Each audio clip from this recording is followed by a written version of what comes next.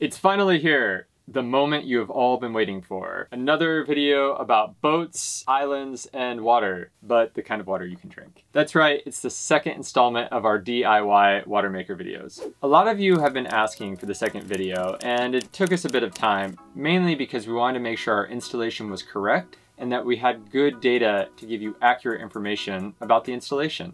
In our first video, we went through how to make water on a sailboat with a water maker.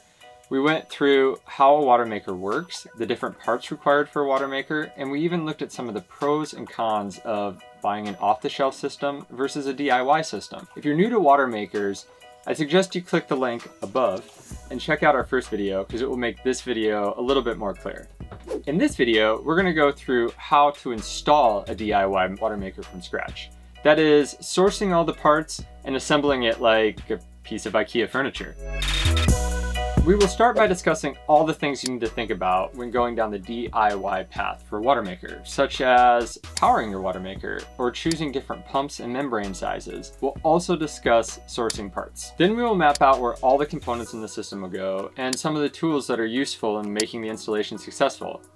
Finally, we'll go through some of the mistakes I made along the way in an effort so you don't make those same mistakes in your own installation.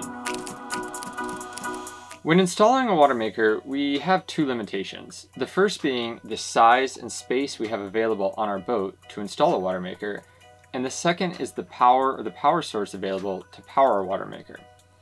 With the power source, we essentially have three options. The first option is to run your water maker on AC with an AC high pressure pump. The energy source needs to be pretty significant, so you either have a really large battery bank and a large inverter, or you need to have a power source such as a generator. Running your water maker on AC means you can install a larger high pressure pump. Therefore, you can have more reverse osmosis membranes and you can produce more water. The downside is all of those extra membranes can add more space to the installation. On Polar Seal, we decided to keep things simple and that's why we went with option two. So option two is running your water maker on a DC system. DC high pressure pumps and motors are simple and can be easily integrated into a boat's electrical system but they do require a lot of amps when working, so you need to make sure your electrical system can support it. This type of system is also good for boats that do not have a generator or access to an AC power source. Onboard Polar Seal, our high pressure pump runs at about 2.1 gallons a minute and draws 55 amps. We have 1000 watts of solar on the deck and 680 amp hours of lithium battery, so we do feel our system can support it. By the way, if this whole AC-DC thing confuses you, Click the link above for a video on basic boat electrics. The last option is to power your water maker using the engine. You'll need to find space in the engine compartment and it's a bit of a complex project so we're going to remove it from the video today and only focus on AC and DC water makers. But if you are interested in this, please let us know and maybe in the future we'll make a DIY water maker video using the engine. Once you know how you're going to power your system, you can start picking the size of reverse osmosis membrane you're going to use. Generally speaking, system output is related to two things. The first being the size of the high pressure pump, and the second being the size and the amount of reverse osmosis membranes. Here is our guesstimate on what you can expect to see based on the size and the amount of reverse osmosis membranes. So for a 20 inch membrane, maybe between 8 to 10 gallons per hour. For a 40 inch membrane, anywhere between 16 to 17 gallons per hour. And for two 40 inch membranes, between 32 to 35 gallons per hour. These are approximations, but it will give you a ballpark.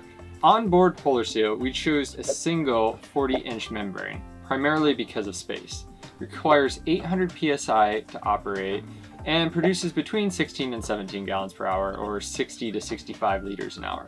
If we were to add a second membrane, and we might someday, we would almost double our freshwater production.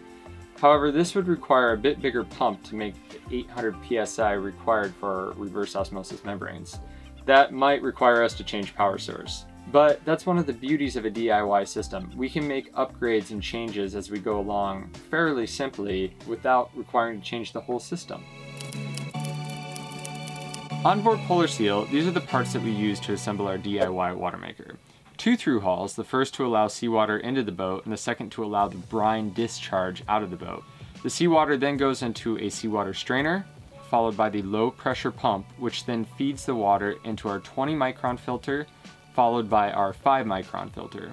After that, we have a small pressure gauge so I can monitor what's going on in the low pressure side. The water then flows into our high pressure pump, which is powered by our high pressure motor, and that then flows into our high pressure hose. So you need to have a hose that's capable of handling the pressure that the pump is putting out. It then flows into the pressure vessel, which is housing our reverse osmosis membrane.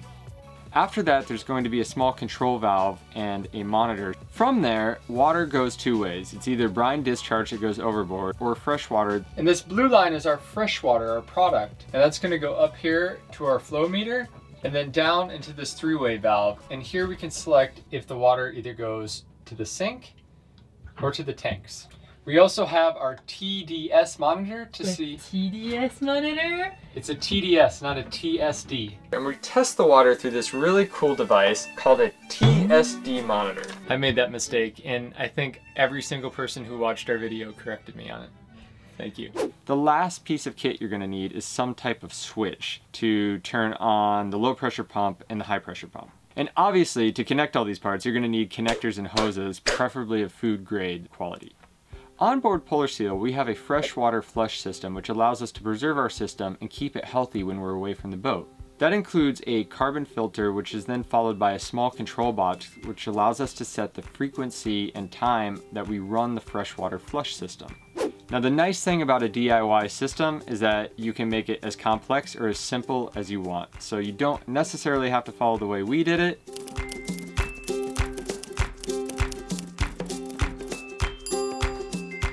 Before you start buying parts, it's a good idea to map out where all the parts might go. And here are a few tips when thinking about that.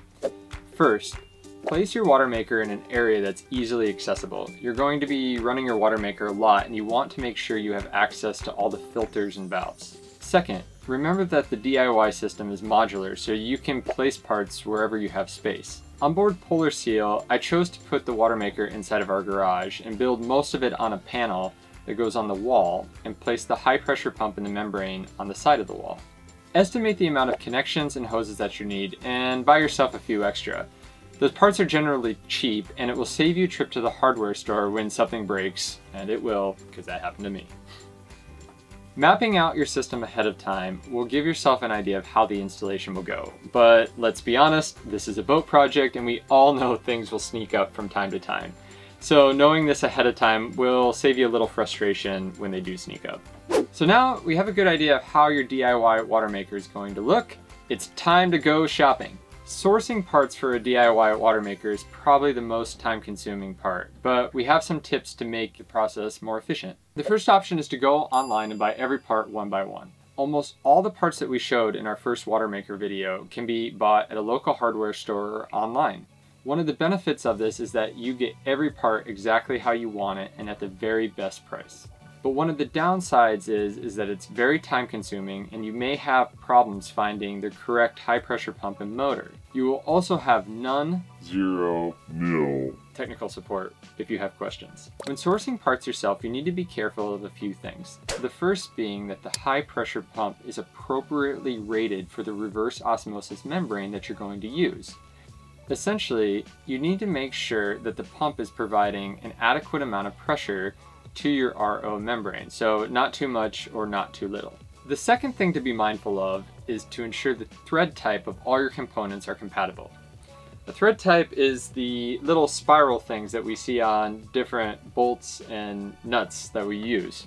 I didn't know this when starting the project, but there's like 10 different types of thread standards in the world. There's US standards, EU standards, UK standards, and most of them are not compatible. We are all sailors, so we move around the world and thus we'll find different thread standards as we go along.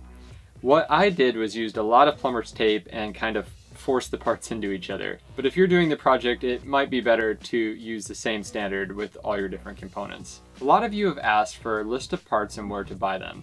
I don't have such a list, but they do exist online, and with a little Googling, you can find them. The second option is to work with a company that sources the parts for you, and that's what we did aboard Polar Seal.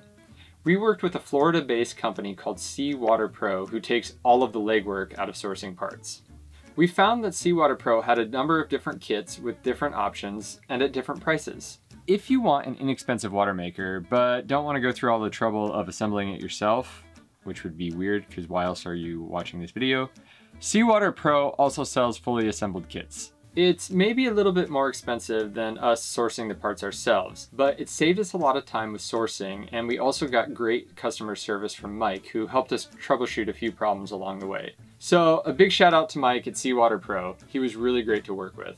So you got all of your parts, and now you're really excited to install your water maker. But before you do, I'm gonna show you some of the tools I found most useful when installing our water maker aboard Polar Seal. First, an adjustable wrench. And an adjustable plumber's wrench, having two is really helpful. Some pliers, a good knife. This one's not so good, but I used it a lot. Drill. Some zip ties. I used lots of zip ties to kind of hold things in place. A screwdriver set, and lots and lots and lots of plumber's tape. So it's not an exhaustive list, but these are the tools I used probably 90% of the time when we did the installation. When it comes time to testing your system, you're gonna need a few more tools, and that's because I took a few showers and I'm sure you will too.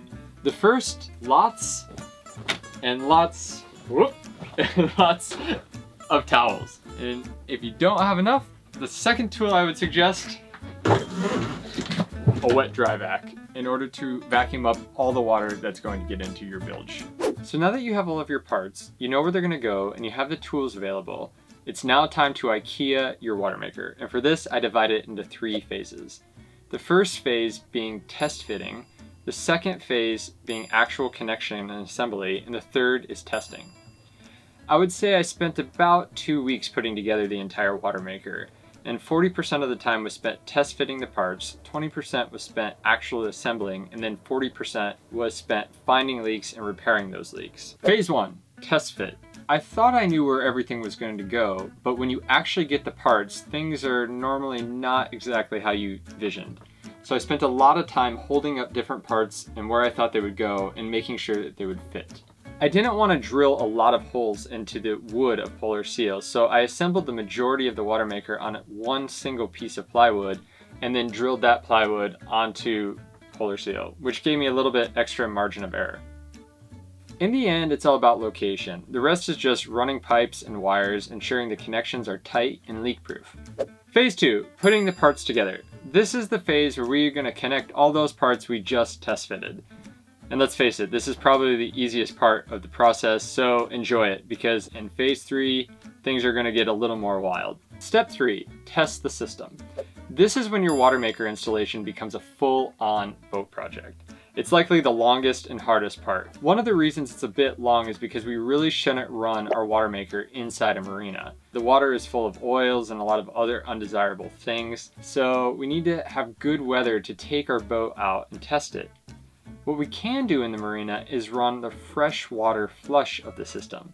This will take fresh water from our tanks and run it through a majority of the system which will allow us to test maybe 90% of the joints and the connections that are there. After we test the freshwater flush, we can then take the boat out and test it under high pressure to see how the joints are holding up. One thing to be aware of though is that when running your water maker under high pressure for the first time, you should not have the product water flow into your tanks for probably the first hour.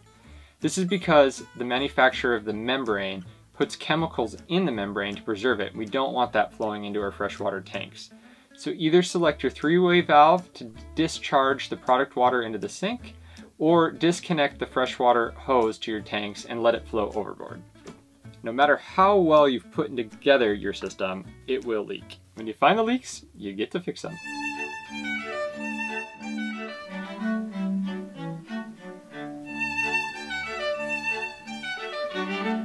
Alright, so now that we've installed the toy, let's play with it. Before we turn it on, it's really important to make sure the seacock is open, so we're actually sucking in water and not air. So what I typically do is I turn the TDS on, I turn the low pressure pump on, it starts filling up with water, and then I turn the high pressure pump on. Okay.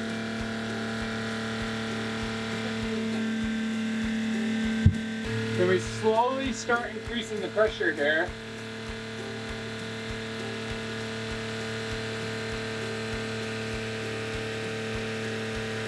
You can see the pressure needle coming up.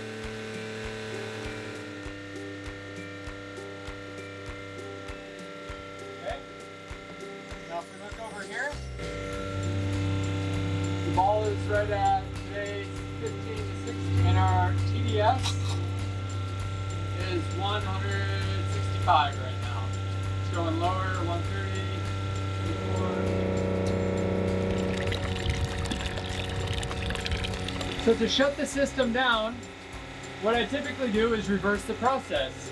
So take the three-way valve, put it back into the sink mode, come over here, slowly relieve the pressure.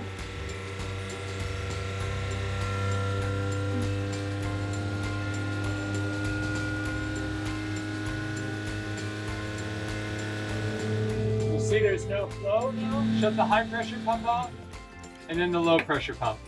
Finally, we just freshwater flush, so I just take this, this dial, turn it to about three minutes, you hear it running, and now it's pushing fresh water through the system. So that's it. That's how we installed our water maker. Today, Sophie and I are enjoying water from the sea. We have not been to a marina in 40 days and it's primarily due to our water maker. We run it anywhere between one to two hours every other day which produces 60 liters to 120 liters and is sufficient for our needs. When we run the water maker, we typically run it at the peak of sun day. So that's between maybe 11 and 3. This allows us to only draw about 25 amps from our batteries when it's running. Otherwise we run between 50 and 60 amps. The last thing I'd like to do with our system is create a panel inside the boat where we can actually operate it. Today we have to go inside the garage to operate the water maker and to monitor it. And in the future I would like to create a panel in our galley so that we can run everything from inside the boat.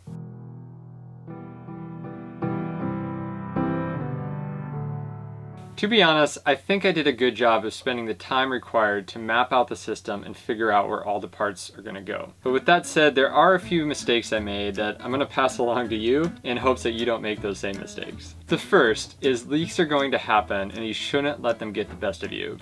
I took a number of showers, some of which were pretty comical, and I wish I would have laughed at them in the situation instead of wallowing in them. We have them on film, but we've removed all the foul language that took place because I don't want to show that.